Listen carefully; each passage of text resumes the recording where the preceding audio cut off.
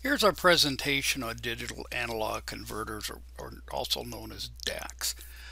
What we have here is a binary weighted summing node where our resistors all double in value, and then we have a, a node where we can measure it. Here we put in binary related values. This first switch would be the 1, the 2, the 4, and the 8. So we could put in binary numbers represented by these switches. So if I want, let's say 9, I'm going to close this switch and this quit switch and it'll be 9. Okay, so what happens when we go through this as a binary pattern counting from 0 to 15, we get a stair step based on the dividing of these resistors.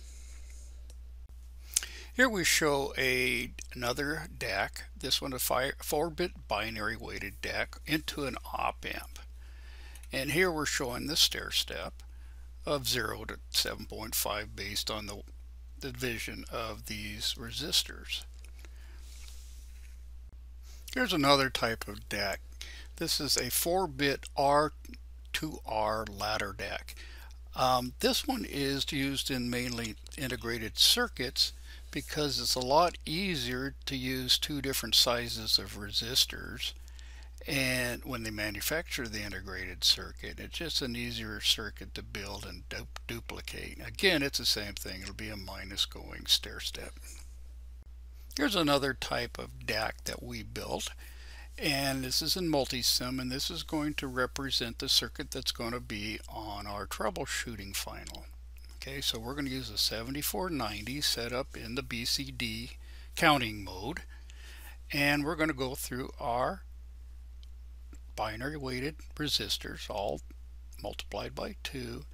I have adjusted this resistor because this thing has a little bit less voltage than the 5 volts. And we have our clock in here.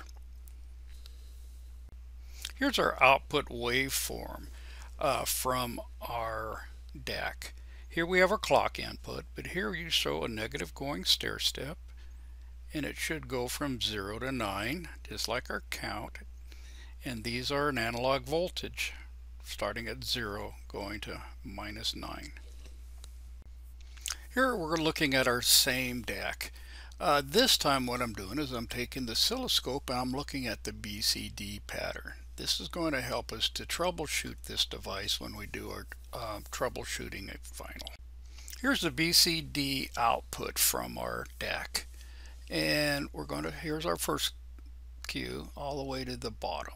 We're going to start where this one goes low and we're going to end where this goes low.